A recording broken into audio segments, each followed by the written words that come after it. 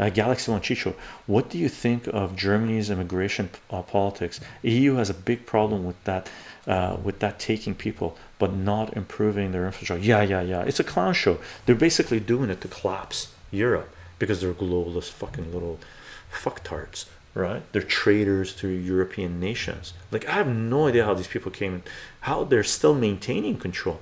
They're actually literally put into power to annihilate the European economy to annihilate European living standards, right?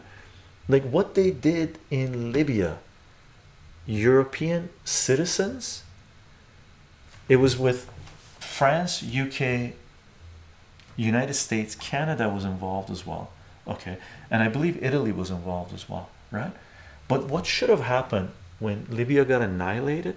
Citizens of Europe should have arrested your leaders in France, in the UK. If any American leaders came to Europe, they should have been arrested on the spot. Same with the Canadians. Put them for put them on trial for crimes against humanity.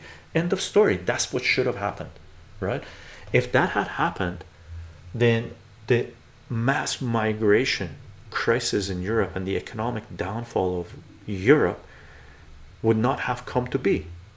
You would have proved to the global majority, the global majority, everybody else, that you will not stand by idly when your leaders, so called leaders, those in power, annihilate countries.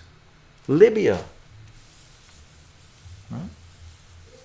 the country with the highest standard of living in all of Africa, and the West annihilated it it was incredible. It was incredible to witness.